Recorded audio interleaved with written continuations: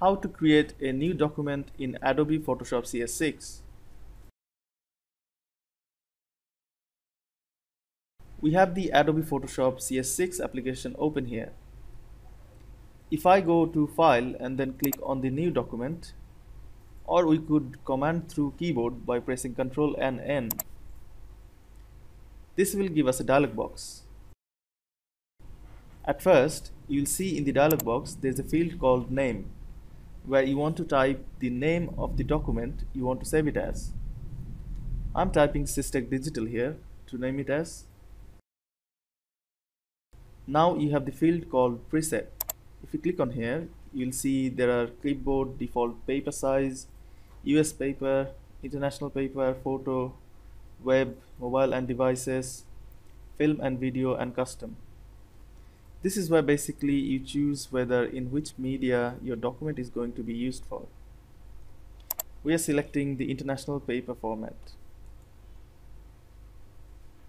Then we need to choose the paper size here. If we click on here, there are options of A4, A6, B5 and others where we'll be selecting the A4 standard size for our document. Once you select this size, you will have the width option in generally millimeter unit by default. However, there are other units to choose from such as pixels, inches, centimeters and others. Mostly pixels and inches are widely used in Photoshop. We are using the inches here for the width. You'll see the height automatically converts the unit in inches as we have chosen it for the width. Now again, if you choose to select a different paper size that will give you the measurement of that size.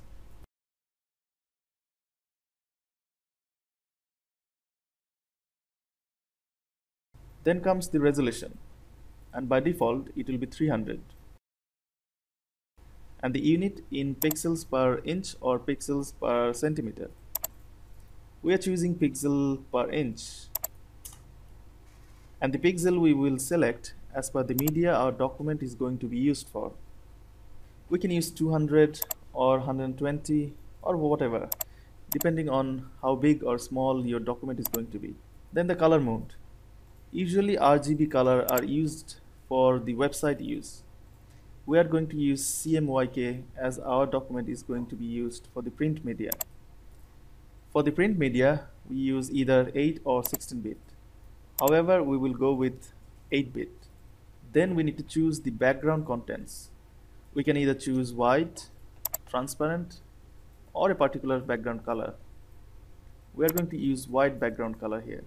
Then in the advanced options, we have here the color profile to select and the pixel aspect ratio.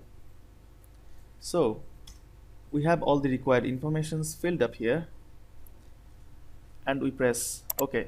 Finally, we have the new document created that we wanted to and we can start our work or design on it. Now on this new file we can start working on any image or photo.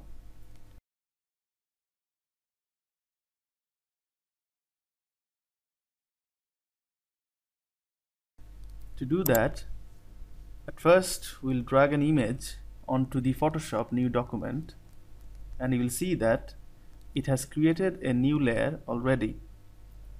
Now press and hold shift alter buttons and resize the image proportionally as you want. Here I'll make it bigger to fit to my created new document. Now I'll click on to the move tool to place the image on the layer. Now as the layer is not rasterized, keep your mouse pointer on the layer click the right button of your mouse go to rasterized layer option and click. Then you get a rasterized layer. Now let's select the crop tool from the toolbox and adjust the background layer to fit with the image that is placed on it and after resizing it click on the move tool and it will ask you if you want to crop the image click on crop now to save this file to your computer, press Shift Control S or go to File menu, select Save As. Now from here, choose the location of your computer where you want to save it. I'm saving it to my desktop. Change the file name as you want to name it. Let's name it as Systech Digital.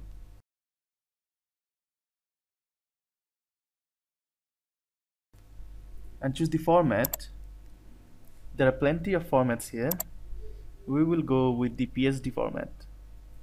Click on save. Okay, so if you want to close your Photoshop file then click cross here and your file is closed if you want to reopen your previous file go to the location where your previous file was located. Okay so this is the file.